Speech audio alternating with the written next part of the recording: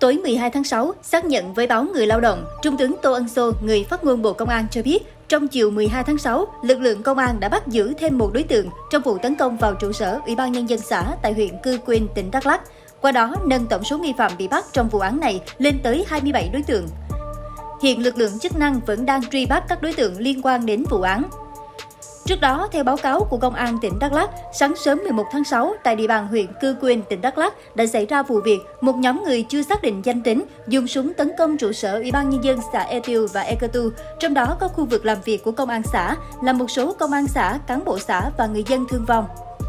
Cùng ngày 11 tháng 6, Bộ Công an đã chỉ đạo Công an tỉnh Đắk Lắk, các đơn vị nghiệp vụ triển khai vây bắt nhóm đối tượng. Bộ Công an đề nghị bà con huyện Cư Quyên và các địa bàn lân cận bình tĩnh, không hoang mang, thực hiện theo yêu cầu của chính quyền cơ sở và các lực lượng chức năng. Nếu ai có thông tin liên quan đến nhóm đối tượng trên, đề nghị cung cấp ngay cho cơ quan công an nơi gần nhất.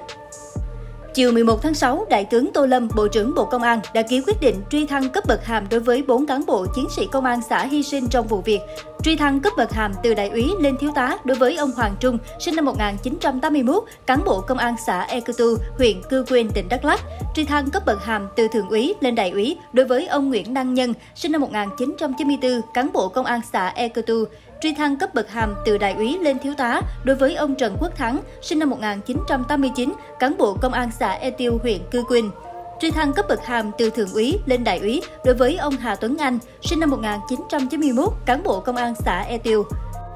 Cùng chiều 11 tháng 6, Bộ trưởng Tô Lâm, Chủ tịch Hội đồng Quản lý Quyện Nghĩa tình Đồng đội Công an Nhân dân đã ký quyết định hỗ trợ 100 triệu đồng một gia đình đối với gia đình 4 chiến sĩ hy sinh, hỗ trợ 50 triệu đồng một người đối với hai cán bộ công an huyện Cư Quyên bị thương là Thượng úy Đàm Đình Bốp, sinh năm 1993, Phó trưởng Công an xã E Tu và Đại úy Lê Kiên Cường, sinh năm 1988, cán bộ Công an xã E Tu.